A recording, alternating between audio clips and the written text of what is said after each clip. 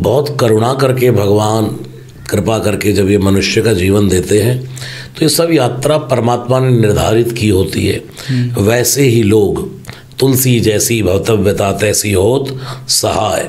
जिस व्यक्ति के जैसे विचार जैसा माहौल जो यहाँ संसार में जैसा बनना चाहता है उसको वैसे ही मार्ग खुलते जाएँगे। जैसे ये संसार एक ऐसा चक्रव्यूह है। जी। जो इसमें व्यक्ति निकलता है चलता रहता है चलता रहता है ये ये कुछ नहीं है। भगवान शिव ने तो ढंका बजा करके कहा ना उमा कहूँ मैं अनुभव अपना? सतहरि भजन जगत सब सपना। मैं अपना अनुभव कह रहा हूँ भवानी। जगत सब सपना है। और ब्रह्म तो कहते जगत मिथ्या ब्रह्म सत्यम जगत मिथ्या। तो सब मिथ्या ही है। लेकिन जब तक श्वास चल रही है तो कोई कठपुतली की तरह हमें नचा चला रहा चला है रहा है। नचा रहा है।